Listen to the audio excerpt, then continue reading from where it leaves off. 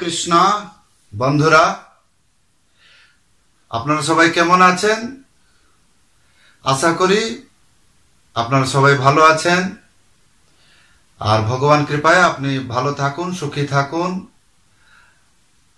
আপনাদের সবাইকে স্বাগত জানাই আমার এই ক্রেজি হরিদাস ইউটিউব চ্যানেলতে। আপনি যদি প্রথমবার আমার চ্যানেলে এসে এই ভিডিওটি দেখছেন, কৃপা করে যেখানে লাল বটন সাবস্ক্রাইব লেখা আছে, ওখানে আপনি প্রেস করে দেবেন, আমাকে সাবস্ক্রাইব করবেন, আবার বেল আইকন দবাবেন। যেখানে বেল আইকন অল সিলেক্ট সেখানে দিলে আমি যখন যখন এই চ্যানেলে আমি শ্রীখোল শিখাই, তো এই ভিডিওটি আপনার কাছে নোটিফিকেশন পৌঁছে যাবে। আশা করি আপনাকে আমি বুঝাইতে পারছি, এটা আমার কথা। আচ্ছা আসুন, আজকে একটা ট্রিক দিব, যে দাদরা তাল। দাদরা বলেন, চাই খেমটা বলেন। অনেক সময় আমাদের দেখি, আমাদের এই এই বাংলা কীর্তন বা আমাদের নদিয়া কীর্তন হলে আলাপ খুব জবরদস্ত হয়। এই আলাপের মধ্যে অনেক কিছু তাল ব্যবহার করা যায়, যে তাল নর্মাল তাল হয় না। খুব শুনতে যেরকম ধমাল মচে যায়। মানে প্রত্যেক নারী, পুরুষরা হরিবোল হুলুহুলি এইসব গর্জন করতে থাকে। তা আসুন, আজকে তার মধ্যে আর একটা ট্রিক দিচ্ছি। এটা হচ্ছে খেমটা তাল বলুন বা দাদরা তাল বলুন। এই ট্রিকটা আপনি বাজাতে পারবেন। স্ক্রিনতে মন্ত্র আসছে আপনি দেখতে পারবেন। ধা, তেরে খেটা তাকো তাকো তেরে খেটা ধা। স্ক্রিনতে আসছে আপনি পড়তে পারেন।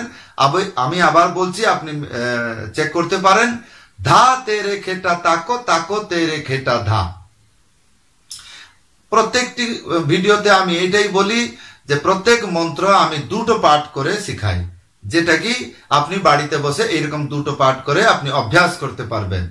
আসুন আমরা দেখি প্রথম পাঠ কি বলছে। আগে মুখের থেকে বলবেন যখন আপনি মৃদং বাজাবেন। প্রথমে আপনি কি বলতে চাইছেন সেটা আপনি আগের থেকে জানকারি থাকা উচিত বা মুখস্থ থাকা উচিত, মনে রাখা উচিত। আসুন আমরা বলি, ধা তেরে খেটা তাকো। এটা হচ্ছে প্রথম পাঠ। ধা কীরকম হবে? একটা আঙ্গুলি আর ইয়ে। একসাথে বাজালে ধা হবে। আশা করি বুঝতে পারছেন? তাহলে ধা আমরা এটা কমপ্লিট করে গেলাম। তারপরে তেরে খেতা। সময় সময় অনেক আমার কাছে আমার কাছে ফোন আসে বা বলে যে, প্রভু, আমার এই থমটা তো ইউজ করি, কোনো অসুবিধা নেই। কিন্তু যখন আমি প্রফেশনাল ভাবে বাজিতে যাই, তো এই থমটা খুব ডিস্টার্ব করে। কোনো অসুবিধা নাই। তবলাতে থম লাগে না, ঢোলকতে থম লাগে না পঙ্খ বাজতে থম লাগে না। যত আমাদের চামড়ার যত যন্ত্র আছে, তাখানে সেখানে আর থম লাগে না। থম মানে বৃদ্ধাঙ্গুলি। এই বৃদ্ধাঙ্গুলি দিয়ে কোনো বাজা বাজে না। তাহলে ওখানে কি করে বাজাটা হয়? তাহলে আপনি যদি থম কোথায় শিখেছেন, তাহলে আপনি বাজান। আর যদি থম আপনি শিখেছেন, অসুবিধা হচ্ছে, বা আপনি শিখতে চাননি, বা আপনি কোথাও শিখেননি, তাহলে আমার কাছে এই সিম্পল ভাবে শিখুন, যেটা তবলা আর ঢোলকতে হয়। তাহলে এই যে তিনটে আঙ্গুলিতে আপনি তে বাজাবেন ভিতর দিকে, তে বাজাবেন আর একটা আঙ্গুলিতে রে বাজাবেন। এটা রেও হবে আর তা না যেরকম যেরকম হবে আপনাকে দেখাবো। প্রথমে তে রে, তে আর একটা আঙ্গুলি রে, তে রে। আর খে ভিতর দিকে, খে তা। তা এই তা তিনটে আঙ্গুলি। খে তাহলে আমরা কতটা শিখলাম? রে তারপরে কি? তাক ফার্স্ট পার্ট কীরকম? আমরা একবার দেখি। স্লো ধীরে বাজে, ধা।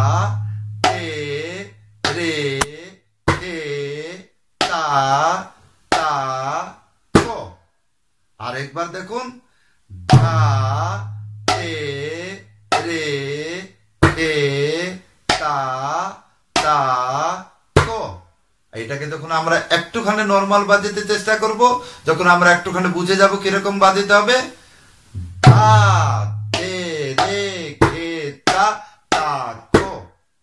আর একটু যদি বুঝে যাই কীরকম বাজাবো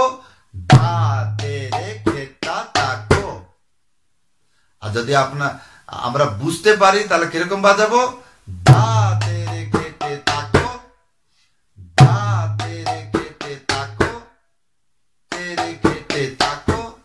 তাহলে আপনি প্রত্যেকটি শব্দ ক্লিয়ার করে সম্পূর্ণ আপনাকে এই শব্দটাকে বাজাইতে হবে। দেখুন খেতা তাকো তেরে খেতা তাকো এরকম করে ক্লিয়ার করে বাজাবেন। এটা হলো প্রথম পার্ট দ্বিতীয় পার্টে আমরা চালি। তার দ্বিতীয় পার্ট কি? তা তেরে খেটা তাক সরি ধা তেরে খেটা, তাকো তাকো তেরে খেটা, ধা। সেম ভাবে আপনি উল্টো দিকে আসবেন।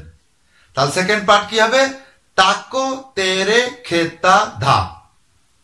তাহলে আমরা তা মনে আছে কীরকম বাজাবো? খেয়েও মনে আছে। কীরকম বাজাবেন? তা, তিনটে আঙ্গুলি। তা কো তারপরে তে, রে, তে, তিনটে আঙ্গুলি। তে, এই একটা আঙ্গুলি রে। তে, রে তা। ধা আরেকবার দেখাই।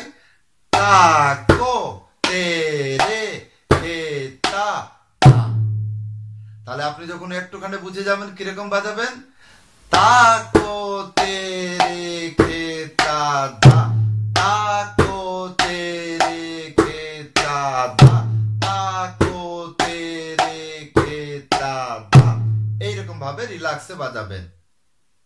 তাহলে আমরা দুইটা এখন মিলিয়ে বাজাই, তাহলে দেখি কি হয়। আগে মনে রাখব যে দুইটা কীরকম বাজাইতে হবে, কেননা মনে না রাখলে কি করে বাজাবেন আপনি? এই খাতা দেখে বাজাবেন, ও এরকম লাগে যেন কপি করে আপনি এক্সাম পাস করেছেন। তাহলে যে কোনো জিনিস আপনি শিখবেন। প্রথমে মৃদং ধরার আগেই দুইটা। খেয়াল রাখতে হবে দুইটা ট্রিক দুইটা টেকনিক যে আপনি ভবিষ্যতে ভালো একজন মৃদঙ্গিয়া হবেন বা কীর্তনিয়া হবেন। প্রথম যে মন্ত্র আপনি শিখছেন, সে মন্ত্রটাকে মুখস্থ করতে হবে। দ্বিতীয়, সেইটাকে কীরকম বলতে হয়, এইটা জানকারি আপনার রাখা হান্ড্রেড পারসেন্ট উচিত। একটুখানে ভুল টুটি হলে আপনি জীবনে কোনোদিন বাজিতে পারবেন না। তাহলে এই বলটা কি হচ্ছে? ধা তেরে খেটা তাক্কো তাক্কো তেরে খেতা ধা। তাহলে এটা কীরকম বাজবে? দেখবে, আসুন। তাহলে আমি খেয়াল রেখেছি, মনে রেখেছি, এবার বাজিতে কোনো অসুবিধা হবে না। তবুও আপনি যখন বাজাবেন, বলে বলে বাজাবেন। ধা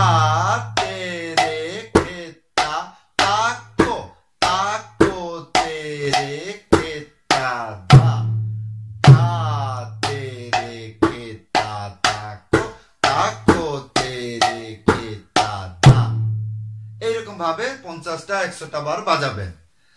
যদি আপনি মনে করছেন যে আপনার বাজারটা ঠিক ওই রকম মতন হচ্ছে না, তাহলে আপনি বারবার ভিডিওটি দেখতে চেষ্টা করুন। তাহলে আপনার এটা হেল্প হবে। প্রত্যেকটি শব্দ আপনার ঠিক মতন বাজছে কিনা, এটা একটু চেক করবেন। কোন শব্দ যেন মিস না হয়। কেন? না, কেননা বাজনার মধ্যে প্রত্যেকটি শব্দের মধ্যে একটা একটা মাত্রা আছে।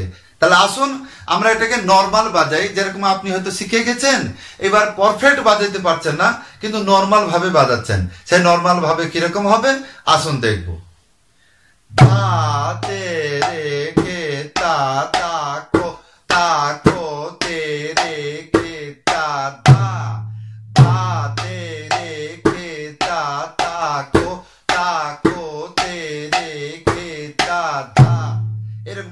লজ্জা, ভয় ত্যাগ করে আপনি ঘরে বসে এরকম প্র্যাকটিস করবেন। কিন্তু এটা তো মনে রাখা প্র্যাকটিস হয়ে গেল। এবার বাজাবেন কি করে? তা বাজাতে গেলে কি? তাহলে দ্বিতীয় নম্বর ট্রিক যেটা আমি বলেছিলাম, এটাকে কীরকম বলতে হয়? আগে বল শিখবেন। খেটা ধা ধা তেরে খেটা তাকো তাকো তেরে খেটা ধা ধা তেরে খেটা তাকো তাকো তেরে খেটা ধা ধা তেরে খেটা তাকো তেরে খেটা ধা ধা তেরে খেটা তাকো তাকো তেরে তেরে খেটা তেরে খেটা এইরকম বলতে হবে তাহলে আসুন আমরা ওই রকম ভাবে বাজিয়ে তিন প্রকার দেখাই দিচ্ছি বস্ত মানে ধীর মধ্যম মানে মিডিল দ্রুত মানে স্পিডি আসুন প্রথম যেটা বাজাবেন আলাপতে তিন প্রকার আলাপ হয়। কেউ দ্রুত গতিতে আলাপ করে, কেউ মধ্যম লতে আলাপ করে, কেউ বস্ত লতে আলাপ করে। কিন্তু এগুলো কিন্তু দ্রুত গতি হয়। এই দ্রুত গতির মধ্যে বস দ্রুত, মধ্যম দ্রুত এবং দ্রুত প্লাস দ্রুত এইরকম হয়। তাহলে আসুন, আগের ভিডিও আপনাকে বলে দেব, এই তিন ভাগ তিন ভাগ তিন ভাগ তিনটে ভাগ করা হয়, ন, তিনটে ভাগকে নটা ভাগ করা হয়েছে। এইটা, এই টেকনিকটা আমি আগের ভিডিও আপনাকে বুঝাইতে চেষ্টা করব। আসুন, প্রথম স্পিডি যেটা দ্রুত গতিতে প্রথম ভাগটা কীরকম বাজবে? ধা তেরে খেতা তাকো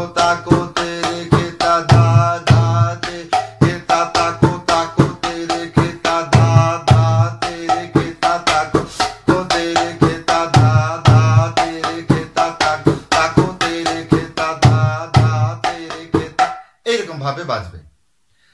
মধ্যম কীরকম বাজবে? আসুন দেখব।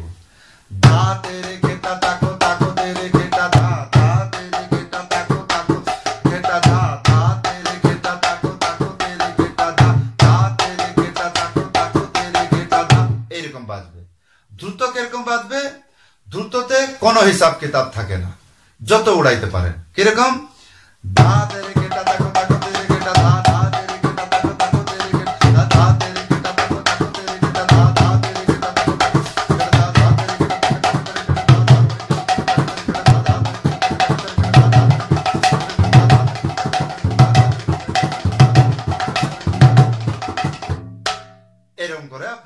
বাজাইতে পারেন তাহলে আমি আশা করছি আপনারা ঠিক মতন বুঝতে পারছেন। তো ভিডিওটি অন্তত দেখার জন্য আমি আন্তরিক ভালোবাসা এবং ধন্যবাদ জানাই। প্লিজ, এতক্ষণ যদি আপনি ভিডিওকে লাইক করেছেন না, তাহলে আপনি লাইক, সাবস্ক্রাইব, কমেন্ট, এইগুলো আমাকে উৎসাহিত করে এবং ভিডিও কত সুন্দর, কত শ্রদ্ধা পূর্বক আপনার কাছে সমর্পিত করে কীরকম ভাবে করব তা আপনার আপনার এই সাবস্ক্রাইব কমেন্ট শেয়ার এইগুলো আমাকে খুব উৎসাহিত করে।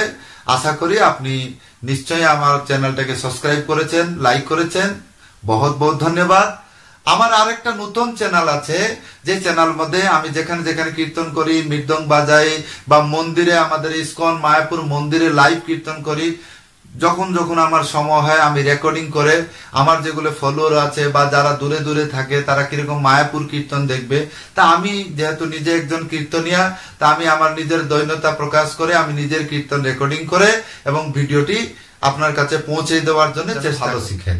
আসুন আজকে একটা কিছু একটা আলাপ করে আপনাকে দেখাই দেই যে দাদরা তালতে কীরকম বাজাতে হয়। ধরো আমি একটা ছোট্ট করে আপনাকে এক্সাম্পল আলাপ দিচ্ছি। জানি না পারফেক্ট হবে কিনা, তবে আপনি একটু আইডিয়া করে দেখবেন যে এই আলাপটা এরকম বাজে।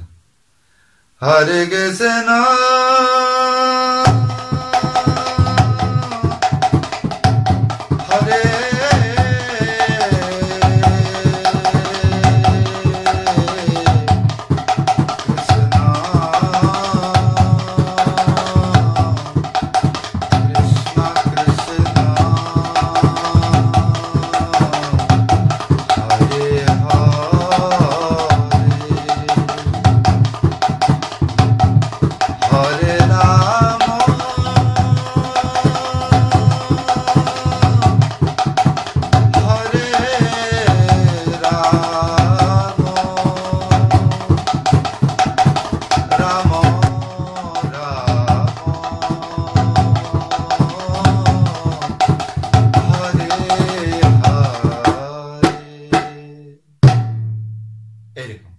ভিডিওটা আপনাকে দেখাই দেব। যদি আপনি আলাপে কোনো দুর্দান্ত বা কোনো উদণ্ড বাজা বাজিয়েছেন, আপনাকে জানা নেই কীরকম ওখানে ত্যাগ দিয়ে ওই অবস্থার মধ্যে আপনি আবার নর্মালে চলে আসবেন, কোন নর্মাল, কীরকম নর্মাল, কোথায় যেতে হবে তা এক্সপ্লেন করব, চেষ্টা করব এইসব জিনিসের খেয়াল দিয়ে আপনাকে সতর্কতা জানাইব। কেননা প্রত্যেক বাদ্য, তারা তো এরকম চলে যায় নিজের বাহাদুর দেখিয়ে, কিন্তু ওখানে অ্যাডজাস্ট করতে হয়। এই অ্যাডজাস্ট আর পরীক্ষাতে কপি করা, বাবা মাকে মিথ্যা কথা বলা, আমি সবকিছু জানি, ইগো বা অহংকার রাখা, এটা আপনি জানেন কীরকম আমাদের ক্ষতি করে। তাহলে আমি আশা করছি আপনি আজকের ভিডিও বুঝতে পেরেছেন। আর এইখানে আমি বিরাম নিচ্ছি, আর আবার মিলবো আগের ভিডিওতে। তা সবাইকে আমার আদর, প্রেম, ভালোবাসা এবং সবাইকে আমার প্রণাম। হরে কৃষ্ণ।